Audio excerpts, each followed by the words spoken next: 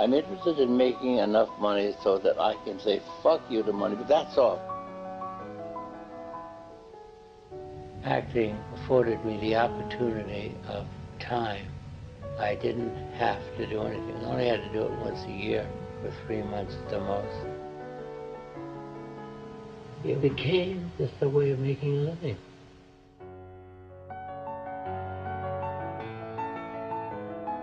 You're certainly unprincipled. Lying and cheating come naturally to you. You're completely without moral qualms. Yeah, you see, uh, everybody's got a good side if you look for it. Lying for a living, that's what acting is.